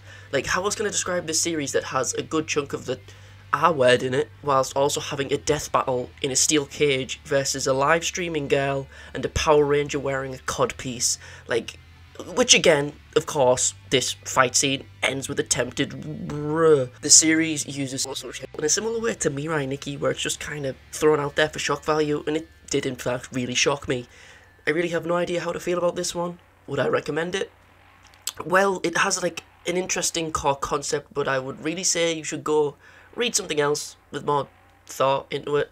Unless you're like okay with gratuitous but sexual themes and violence, as well as an abundance of gore. If you're okay with that and are a little bit morbidly curious, go for it, fam. Fort of Apocalypse. When a series pretty much just starts off right on the bat with a Nietzsche quote, you know something weird is about to go down? It gets even more intriguing when we start in a prison. Remember like the last good season of The Walking Dead where everyone's in the prison? Yeah, it's that. These poor dudes are trapped inside of a prison when the zombie apocalypse starts, hence the title, Fort of Apocalypse. Kind of cool title far from an original concept, honestly, but it's still a very captivating one nonetheless. Technically, it's not a prison, it's a juvenile reformatory school, but, you know, tomato, tomato. It also does this really cool thing where it counts down every prisoner and guard, like who's left surviving whenever a character dies. Pretty suspenseful stuff. We follow a group of convicted felons roaming across Japan trying to survive and get some guns after they get kicked out of prison by this cool disabled dude who beats people up with his crutches. This is pretty much all you need to know, to be honest. If you're thinking about giving this series a go, it's got some brutal gore. It's a really cool idea by having the zombie apocalypse focus around a prison environment. The only reason I could see a horror fan not wanting to give this a shot is if they're kind of sick of zombies and all the tropes that come with the subgenre. If you feel zombies are getting a bit overplayed and overdone, I'd still say give it a go, like three to four chapters, and if it hasn't grasped you by that point, it won't.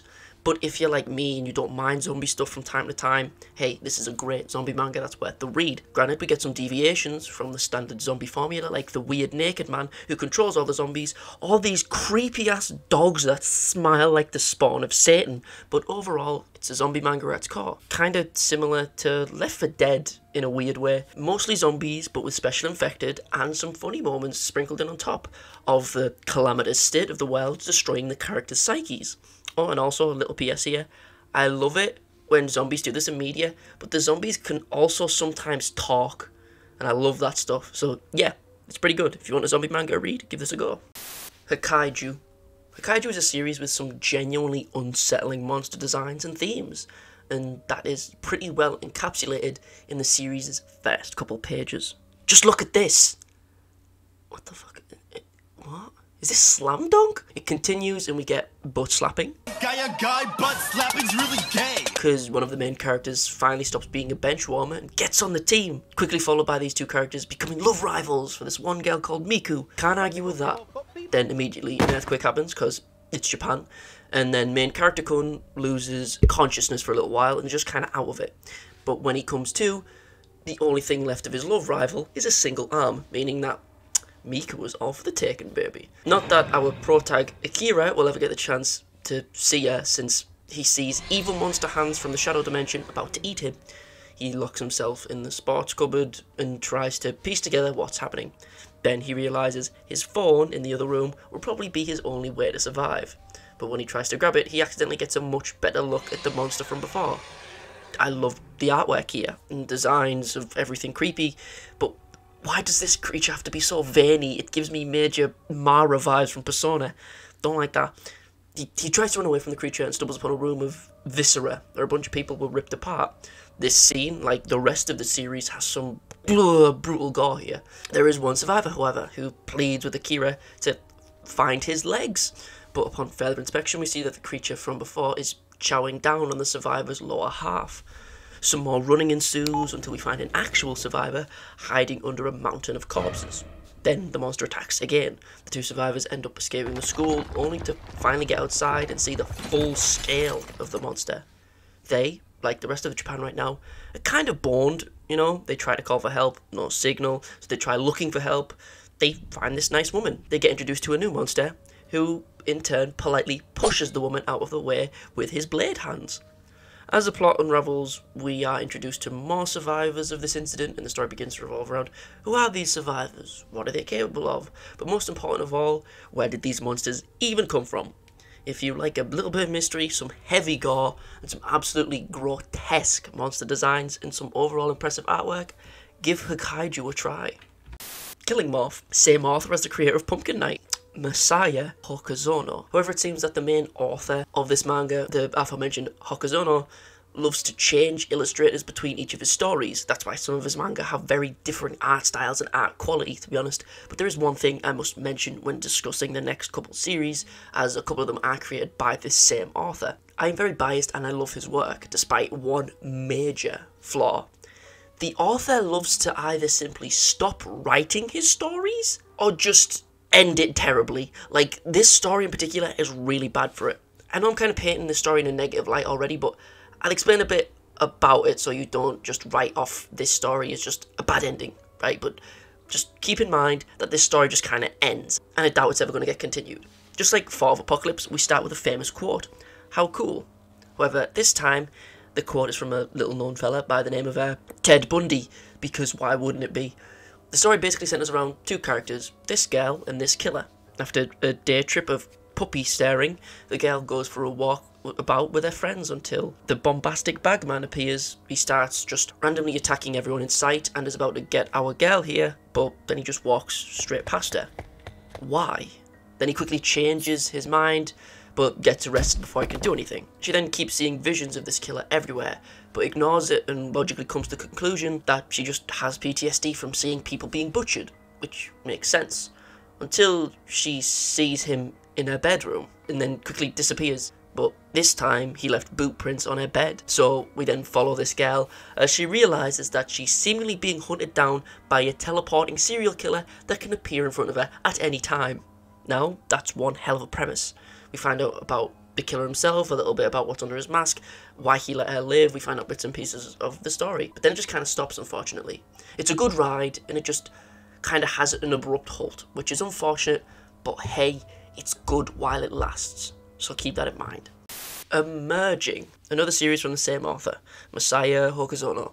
I know I said I didn't want a bunch of stories from the same author, like with Junji Ito in like the second or third layer, but these stories are so drastically different from one another and all have different artists and are just kind of written by the same person, so I'll give it a pass. I mean, the only thing that the previous stories from this author have in common is pretty much just brutal gore.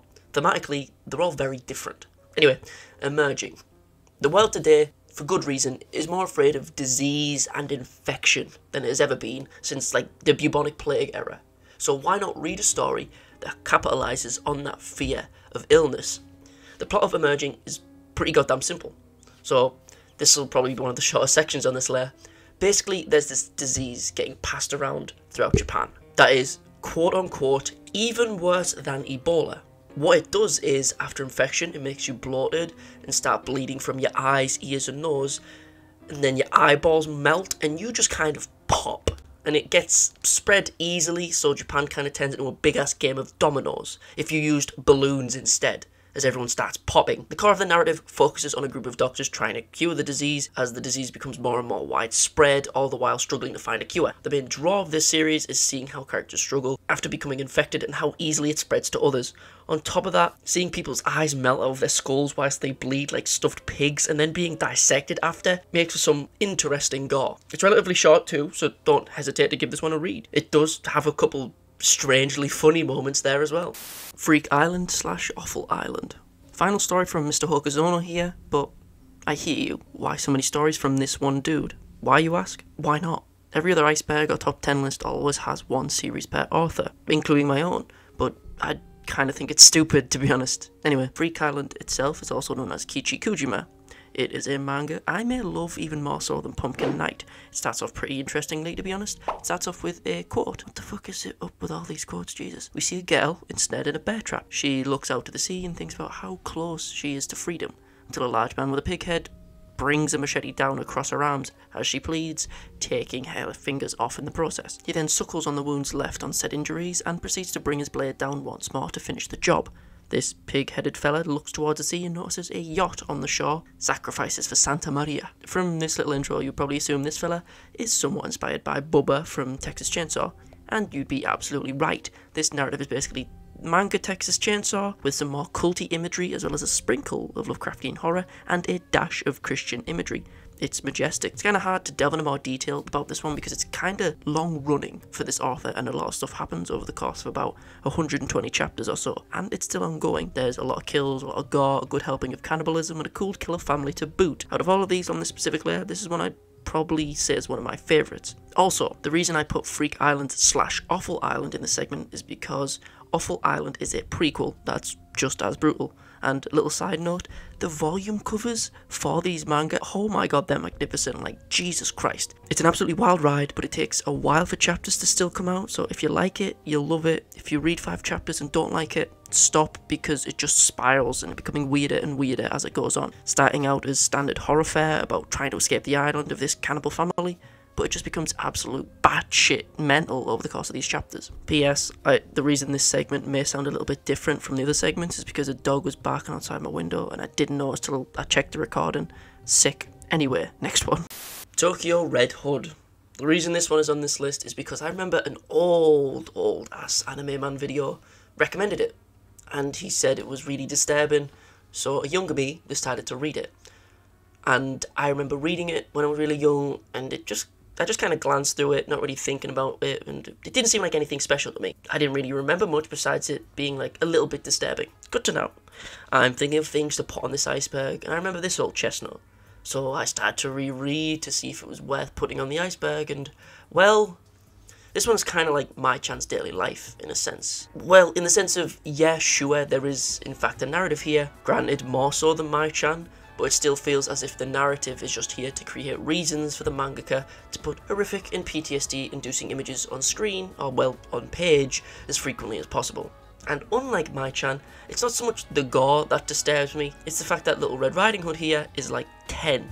And the manga starts off with her having a gunfight in a love hotel just after she did stuff with an old man. And it's all there, it's all on panel, naked and all. It's not my cup of tea, but I hate the fact that after you skip this shit, there is a somewhat intriguing concept underneath, but it's not worth sitting through this crock of lolly shit to read it. I can barely put any panels on screen because it's that gratuitous constantly. Pisses me off because there's some genuinely cool imagery in this sometimes, but I just couldn't read through all of it. It just gets really noncy. I don't like it. Like the idea of like Little Red Riding Hood only wanting to be killed by the wolf and also being like immortal and unkillable by anyone except the wolf. And the wolf is like also her son. It's intriguing right? In the very least. But i'm not going to sit through this nasty ass stuff that i can't even show. Overall don't read this unless you want to end up on a watch list. And if you ever hear someone defending it give them a slap.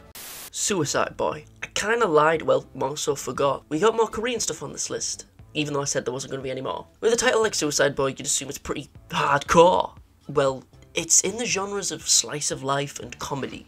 So uh, I think I've got some explaining to do.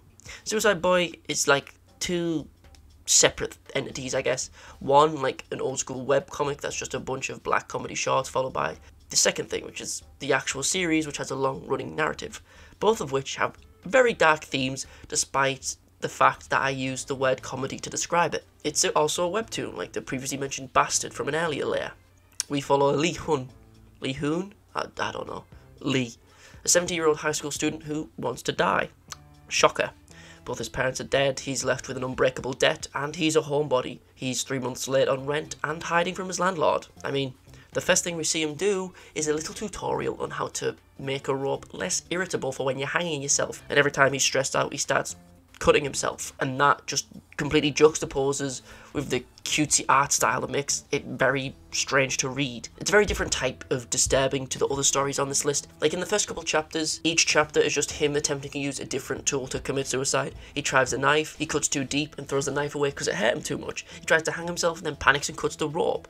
Like, self-harm and suicide is played for laughs in this series in a very peculiar way. Not necessarily in a disrespectful way though, but seemingly more like the author was using this as kind of like an outlet for someone who's felt this way in the past. Like the sudden cutting being played for jokes at certain inconveniences. As someone who knows a good chunk of people who've done similar acts, it's it seems quite real despite the almost chibi art style. He gets bullied, makes friends, and people try to stop him from committing am Hero. It's it's a very strange read, but it has some genuinely funny bits and pieces in there, but at the same time focuses on a genuinely depressing topic that just doesn't shy away from showing. Side note, one of the funniest moments in this series to me is when there's a full ass scene where a couple of characters go to an arcade, but since the character has no money, they want to keep playing at the arcade cabinet so he can't lose, because if he loses, he can't play anymore. So he has to stoop to guile turtling or guile waiting when he's playing Street Fighter. And it fully explains this tactic in depth for zero reason. And I love that so much. It's it's great. It's been a while since I feel like I've read something so genuine and true to how the author was feeling at the time they wrote it. Give a couple chapters a read if you find it funny or intriguing. Keep reading. There are some wholesome moments in there over the course of 134 chapters.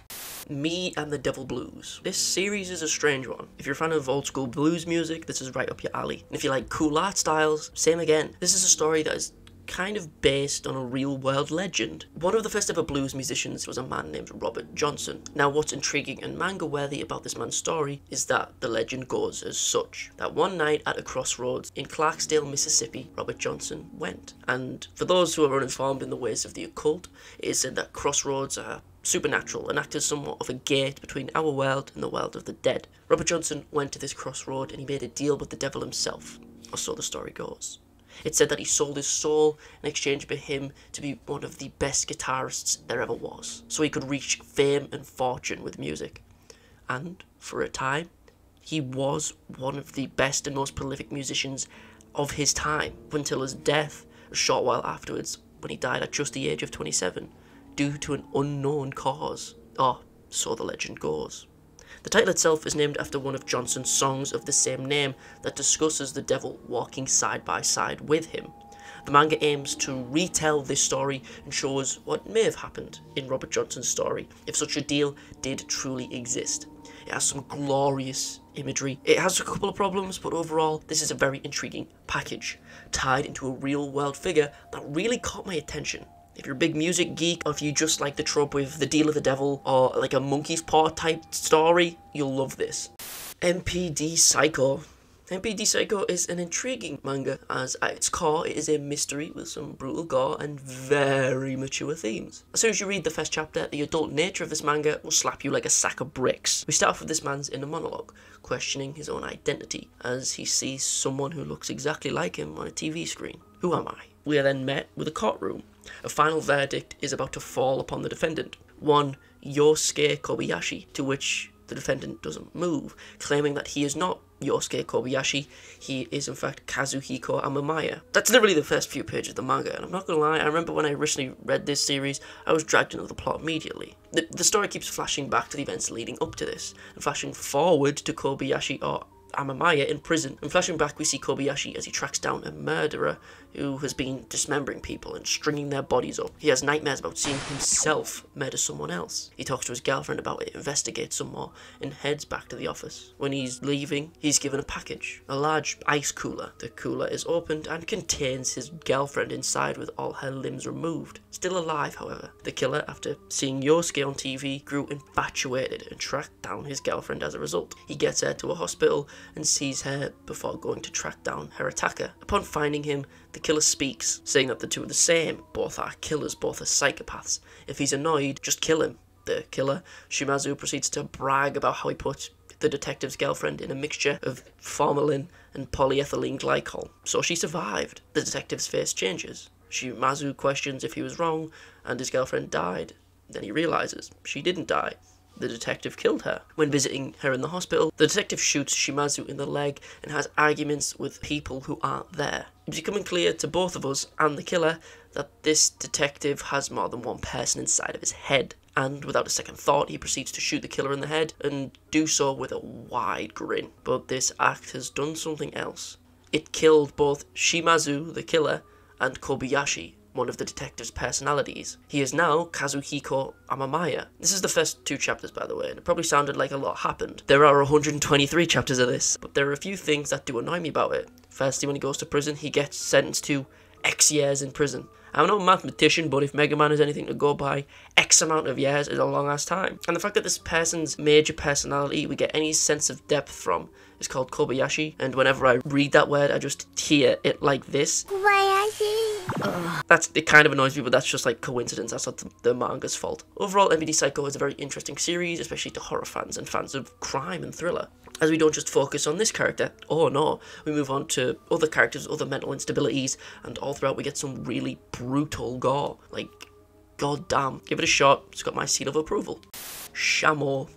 Shamo is a fighting manga at heart. Well, why have I put a manga about martial arts and fighting that seemingly has more in common with a manga like Teppu or Baki than most things on this iceberg? Well, it starts off with the main character murdering his parents in cold blood, but it doesn't stop there, folks. He immediately gets sent to prison, gets Zui brutally by multiple prisoners. Then, when the same prisoners try to do it again, Ryo, our main character, and recent victim, bites his attacker's cock off. Then Ryo gets a cell to himself, since he clearly doesn't work well with others. After that, a karate sensei comes to the prison for the sake of exercise and to teach the prisoners discipline. And in the process, our friend Ryo becomes entranced by karate, karate, or however you pronounce it. He continues to get tortured by the other prisoners due to his crimes and due to him seeming weak, till he stabs and beats the shit out of one of his tormentors. Then his sister visits him and tells him basically everything in her life came crashing down as soon as he murdered the two's parents, and now she has to just be a sex worker just to survive. So, you know, this dude's life is pretty much not ideal at the moment. But the only thing that keeps him alive, both mentally and physically, is martial arts. Physically, to protect himself from the other prisoners, and mentally, just to keep himself sane. The story progresses from him having prison fights with his attackers after a year of training, him leaving prison, trying heroin with a prostitute, working for the mob, and then just trying to become the best fighter in a new league called Lethal Fights. Quite similar to Baki, the series is almost 300 chapters deep, so you can see the artist's style evolve over time. Also does the same thing as Ippo, where to explain how characters feel about certain situations, it will make great use of visual metaphors, which I love. If you like martial arts and fighting manga, but you want it to be 10 times darker than the other stuff, give Shamo a go. There's not much else like it. Doku Mushi. Yet another series that I just kind of feels like an excuse to draw messed up stuff, while also, unfortunately, having an interesting concept that is wasted on it. Dokumushi means poisonous insect and kind of also refers to an old ritual where you'd get like a bunch of poisonous insects and put them in a pot, seal it and leave them to starve. Then you come back days later, open up the pot, and the only insect left in the pot will be the most poisonous after consuming all the other insects that were trapped inside. Now, do that with people, and there you go, you have Dokumushi. We basically got a group of people locked in an abandoned school for a week, and they pretty much have to eat each other to survive. So it's basically Rabbit Doubt with a lot less thought and a lot less tact just more gratuity without any merit. This series has, for no particular reason, themes of, a little list here, nonsense, cannibalism, toddler murder, sexual violence. Why does this series cover such serious topics? I have no idea. To be honest, the series just feels like messed up fetish shit that I'm not really into. Just like Mai-chan and Tokyo Red Hood. And on top of that, I say it's an interesting concept, but it's not, because the main crux of the plot is that they're trapped for a week, but they can just wait it out. The human body can survive for like a month only on water, and they have water. So what's the actual point? The series may have interesting moments, like there's some decent gory scenes that I can show, and but there's so much pointless gratuity that it, it, it's just whack. Yet again, like the other series that I mentioned, maybe there was something here, but it's ruined by the constant fetish stuff. Skip it. Sure, it's disturbing, but not everything on this iceberg is a recommendation. Some of the things on this list are just kind of here the sake of informing you about these series so you don't waste your time on them. This, like my channel, like Tokyo Red Hood, it just feels like fetish shit with gore on top. It's just wasted potential. However, the only good thing to come up this manga is this panel because it makes me fucking giggle and it's very amusing. That's it. Starving Anonymous. Now, this is how you do a manga to disturb with actual thought into it. This manga is messed up in the most perfect way. This manga starts off with some chicken nugget eating, nice, which is quickly juxtaposed by the main character's friend, describing how chicken nuggets are actually made in real life. It's pretty grim, I won't lie, but good eating is good eating. Main character gets on the bus, immediately gets knocked out on said bus, wakes up in a facility where corpses are being sorted. He gets put on a truck and thrown in a room filled with humans connected to feeding tubes, which are all enormous. Basically, the main story revolves around a human facility called the Cradle, where humans are fattened up with these tubes that just make them addicted and fat. Once the humans are fattened up enough, they get fed to these horrifying mantis hybrids that are absolutely petrifying. Humans are bred and fed like cattle so that they can be consumed by these creatures. And these are all led by one giant one of these fellas who lives in a massive throne room. It runs so deep into the government that these creatures just casually kill the Japanese Prime Minister for no reason. The series is creatively and brutally gory, has an intriguing plot, and has artwork that just makes you uncomfortable when looking at it. If these creatures want human meat, why not try to create a human that can regenerate meat so they have infinite meat to eat? As a result, there's also this dude in the facility who can regenerate from any injury. Ironically enough, like Mai-chan, except he's not an absolute pussy. So if he gets stuck in a fight, he'll rip out his own ribs to use as a weapon. And he wants to kill the insect overlord alien thingies, so he's pretty cool. I suggest reading this if you're into body horror and you like monsters with some creative designs, as well as this creepy motherfucker who looks like the G-Man and puts people through surgery in the same kind of way Franken Fran does. Granted, this character is 10 times worse. This dude is truly horrifying. Not much more I want to say about it besides I love the premise and is one of the most discomforting things to read in the most perfect way possible. And on top of that, the art is pretty sick when it's not absolutely sickening. Ichi the Killer. This, despite being on the bottom layer, has an OVA, which is uh, an uncomfortable watch to say the least. If you've heard of Ichi the Killer, it's probably from the live action movie from a few years back that gained a little bit of notoriety in the last couple of years as a few YouTubers covered it and analysed it. Well, I'm here to say that the OVA and the manga are a lot worse in a thematic sense. They're more depraved and overall more deranged, but in an enjoyable way, I guess. All I care about is the fact that this section will be a million times easier to edit because I won't have to keyframe all the images. Anyway, this story revolves around Ichi here. Ichi, if you didn't know, is the number one in Japanese, if you couldn't tell. And he is a bit messed up in the head. He smiles a bit funny, he's awkward around people, he gets bullied, and he kills people and jacks off over their bodies. So, there's that. The way I've worded it, I make him sound like a mindless serial killer. Technically he is, but he's more like a contract killer.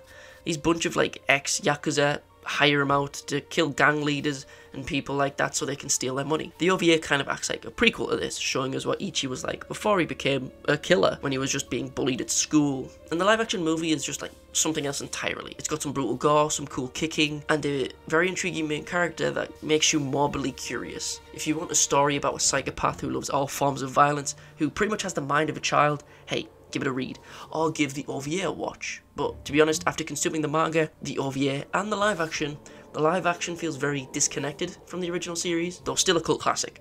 So I suggest the OVA and the manga more so than the live action, but if you do like one, you'll like the others.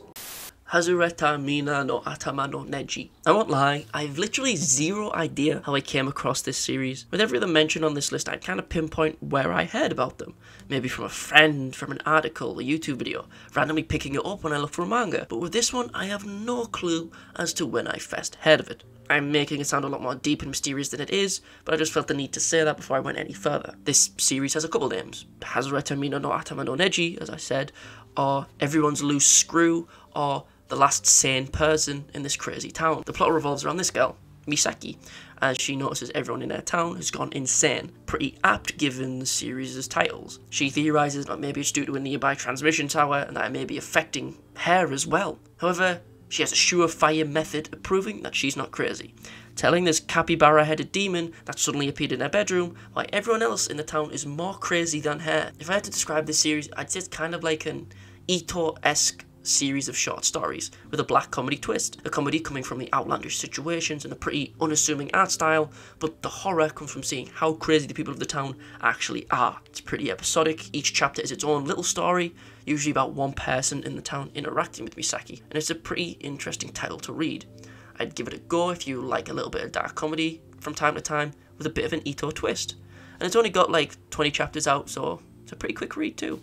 As this iceberg took months to finally finish, there were obviously quite a few titles I couldn't add due to time constraints that I would have liked to. So in this added little section at the end here, I'm just going to talk about a few horror anime and manga that you should watch or read if you have the time. That I would have put on the iceberg but simply didn't do with time constraints.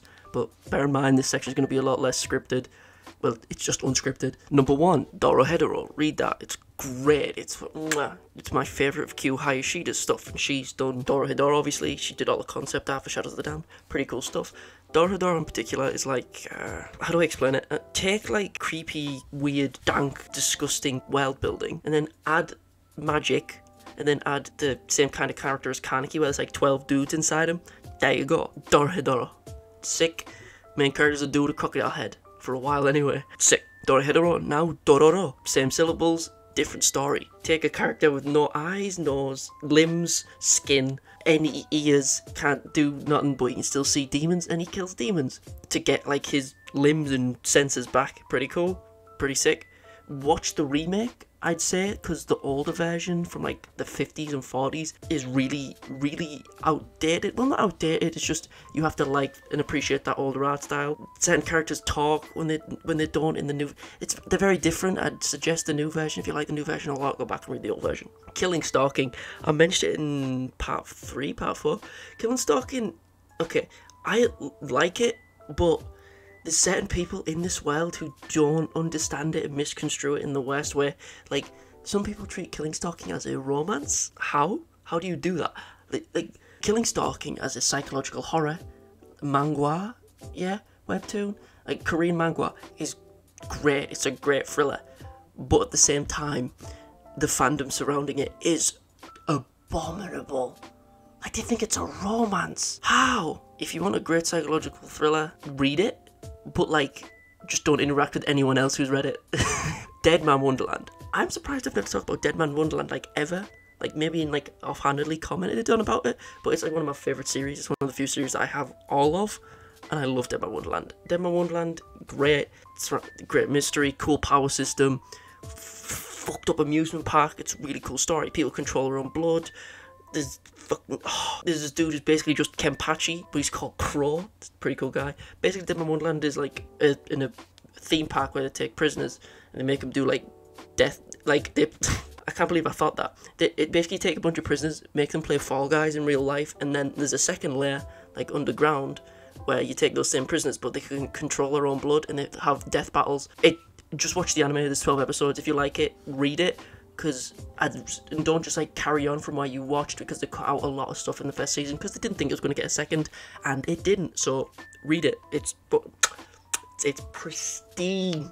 Wholesome ending too. And quite the opposite of dead man wonderland promised neverland great series. Terrible fucking ending. Anyway promised neverland if you're going to watch it watch the first season skip the rest don't watch the second season. Is there a third season? I don't even remember. Probably not shouldn't be. But basically, Promised Neverland, one of the best first seasons ever. Same with the manga, it starts off really strong, but then the second season dies off because the second season removed my favourite character in the entire series. Forgot his name because it's been a while since I've read it, but he was great, he's just gone. Anyway, Promised Neverland, basically, kind of like Starving Anonymous, where like people are grown as like cattle and bred to be eaten. That similar sort of scenario, but instead of like them being attached to feeding tubes, it's more like a free range farm. And instead of being fed to massive cockroach, weird fucking uh, alien thingy majiggies. They're getting fed to demons instead. So it's basically Starving Anonymous is a better Promised Neverland. But Promised Neverland still has its moments. Just don't expect a good ending. don't expect it to end well. Yeah, there's, there's plenty of other series I could talk about. Like, I've literally got a list of the ones I might make videos on in the future, like the manga for Old Boy, Magical Girl Site, uh, Redo of Healer, because Jesus Christ, that is a story. Jinmen, uh, Gaju, Witch's House. There's a bunch of like lists of titles here that I wanted to put on the iceberg, but I just didn't have time. So that's why this little section's for. I may make like a longer video where I go through other manga and say where they would be on the like on the iceberg. Anyway, outro time. Thank you so much for sticking with this with this iceberg. Like you've watched all of it. That's amazing. Thank you all again. Thank you all for the support. I know it's been like 10 months nine, ten months since the original Vestal was uploaded. And it took me months and other videos like being released until it was finished. And this is the finished product. Thank you so much for supporting the channel. Thank you so much for watching these videos and any of my videos actually. Just really appreciate it. Thank you for the support and Jules my dudes. We'll see you next one. Peace.